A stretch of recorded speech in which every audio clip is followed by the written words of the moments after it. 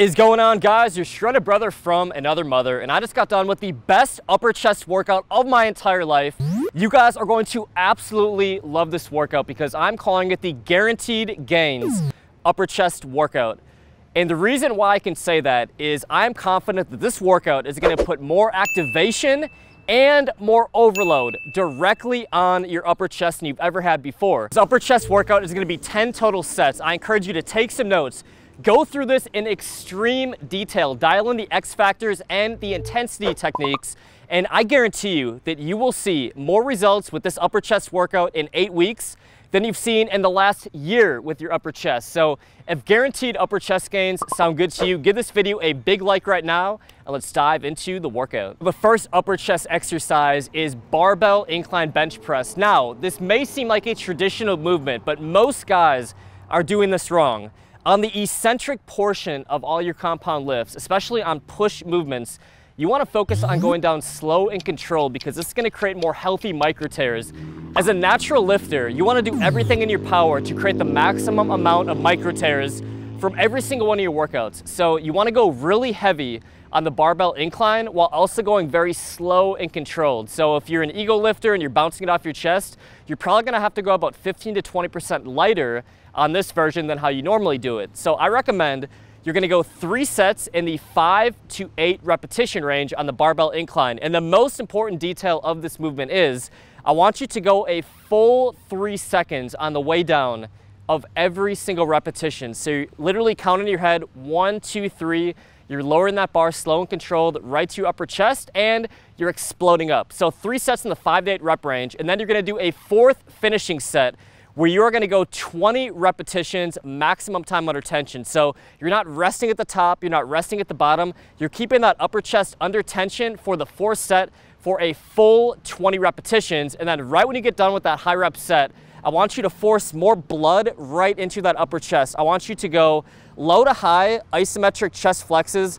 Um, you can go each side for a nice hold for about 15 to 20 seconds and your upper chest is going to be on fire.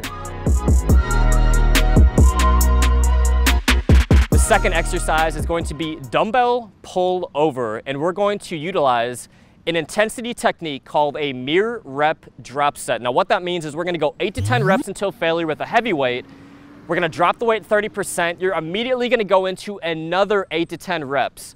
So pay very close attention to your form on this exercise mm-hmm. because if you extend your range of motion too far back, as you extend on the mm-hmm. eccentric portion, you're gonna hit more lats. We wanna shorten our range of motion, really focus on the upper chest. So hmm. focus on squeezing that upper chest on the concentric portion of every single repetition. So you're gonna get a nice mind muscle connection, go slow and controlled, and really focus on squeezing and activating. You're gonna drop that weight 30%. You're gonna do another eight to 10 reps. And this one is absolutely brutal. So I want you to go three total mirror rep drop sets, resting 90 seconds between. And once again, on the third and final set, do some isometric chest flexes where you're really focusing on squeezing Put your finger where your upper chest is and really focus on squeezing and pumping blood with an isometric hold immediately after your set.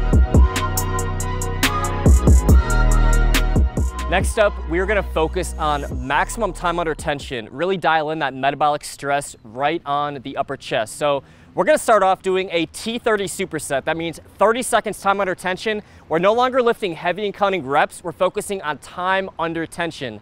So the dumbbell low to high is a very unique movement really focus on activating your upper chest as you lift those dumbbells from a low to high position. Remember, if you've seen my other videos, uh, pressing from high to low is gonna be more lower mid chest. Going from low to high is the best way to activate our upper chest. So we're squeezing our chest, really focusing on that upper pec activation, lifting those dumbbells from a low to high position, and we're going 30 seconds time under tension. In the second portion of the T30 superset, you're gonna use those same dumbbells, and you're gonna get into dumbbell around the world. Now, this is a very unique motion. Really focus on that swooping from low to high position to activate the upper mm. chest. So if you do this right, you're gonna feel extreme activation in your upper chest. You can just see my upper chest working overtime. You can see the extra activation on this movement compared to most other traditional pressing movements. So once again, I want you to go 30 seconds time under tension. And then last but not least, you're gonna get into one finisher to end the workout. I want you to go incline push-ups, I want you to squeeze a bench together, like almost like you're trying to bend a bench. And as you do that, I want you to really focus on going up and down and focus your mind muscle connection on your upper chest. So literally rep out as many push-ups as you can using this form. And then right when you're done, I want you to focus on isometric chest flexes one more time, just pumping blood right into that upper chest.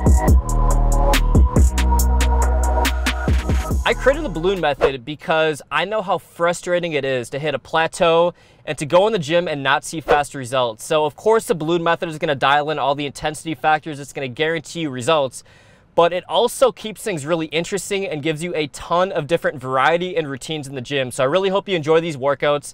Uh, definitely let me know your comments on the balloon method down below. But don't leave yet because we have a really fun giveaway for today. And before I announce today's giveaway, I wanna congratulate Clint Grimes on the last video's giveaway. So Clint is winning a tub of Goteen Vein and Vanilla.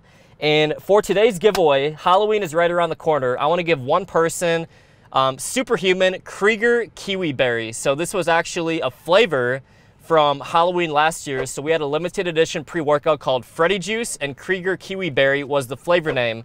So I want to get you guys in on Halloween and in on the fun this year. So comment down below um, any idea, looking for some creative ideas for our Halloween pre-workout name. It could be a product name or a flavor name. If I choose any one of the two to be the winner, you're gonna win $250 cash, and you're also gonna win, of course, a tub of our Halloween limited edition pre-workout. So um, last year was Freddy Juice, Krueger Kiwi Berry flavor. That's uh, kiwi blueberry flavor. So comment down below any creative Halloween product ideas you have. I'm gonna be uploading results of training shoulders every single day for 14 straight days tomorrow at 10.30 a.m. Eastern. So make sure you subscribe, tap that notification bell, and I'll see you guys on the next video.